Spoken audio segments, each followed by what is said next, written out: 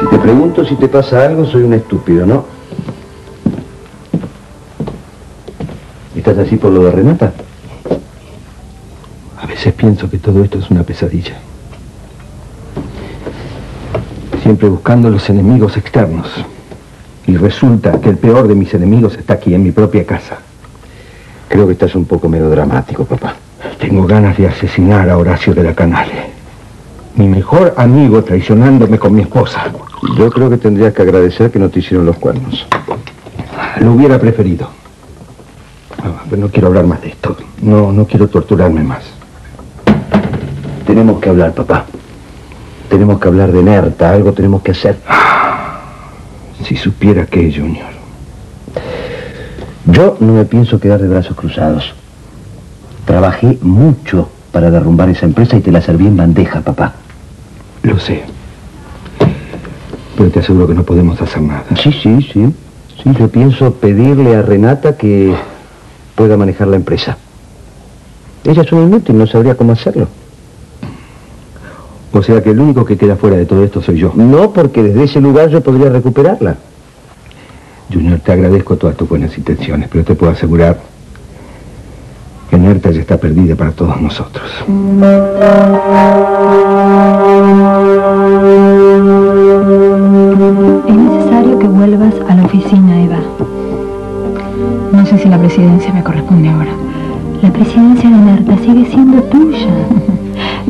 Haya otro junta de accionistas y mientras no se cumpla el plazo del vencimiento de las hipotecas.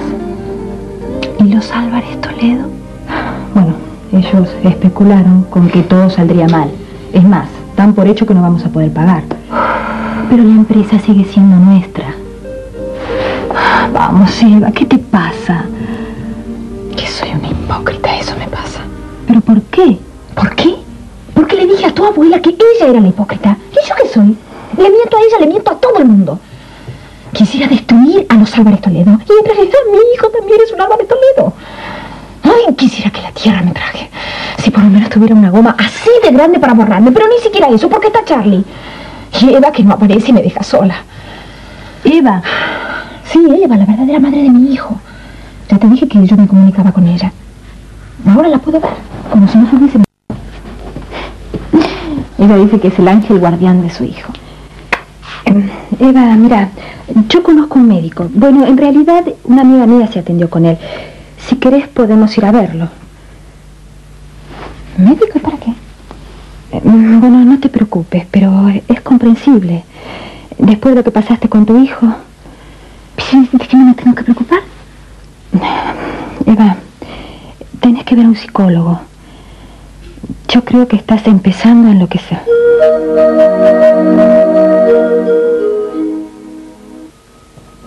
Elías, ¿Sí?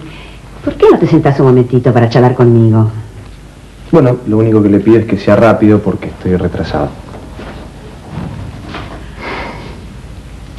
Bueno, estoy bien.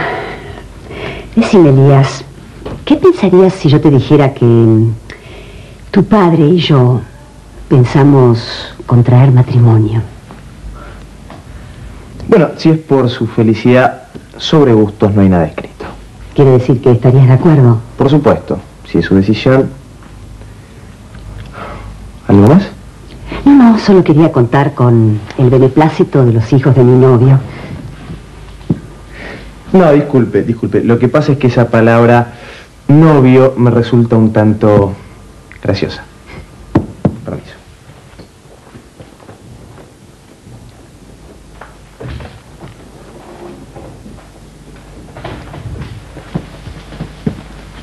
Así que ya estás pensando en casarte.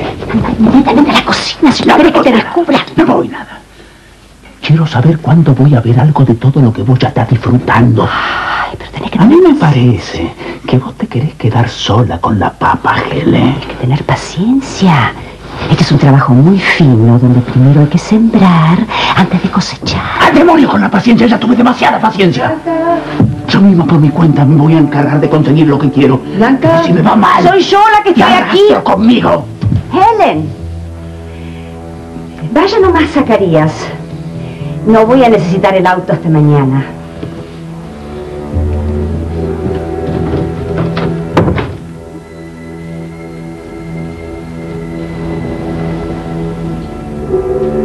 Justamente quería hablar con usted. Muy seriamente.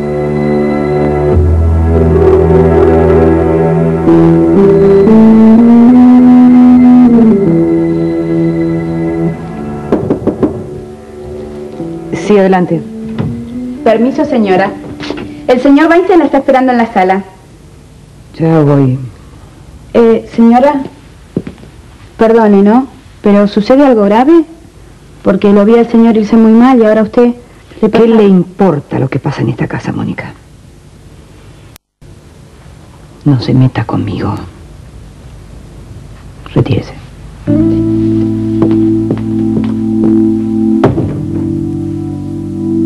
¿Cómo que no te importa? Así es, como lo oyó. No me importa. Estuve pensando la situación y me di cuenta que de la única manera que puedo liberarme de usted es no dando importancia a sus amenazas. Es más, quiero que hable. ¿Pero qué va a pensar tu familia? Después de tantos años que los estás engañando. Usted no sabe lo que es fingir y fingir.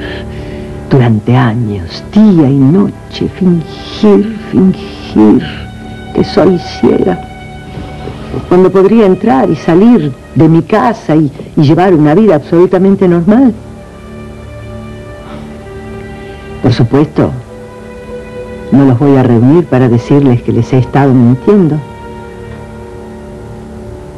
Pero si se enteran por un tercero, me va a sacar un gran peso de encima.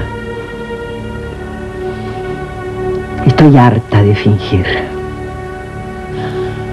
Harta.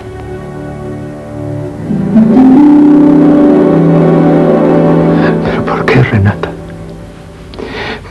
¿Por qué me negás la verdad?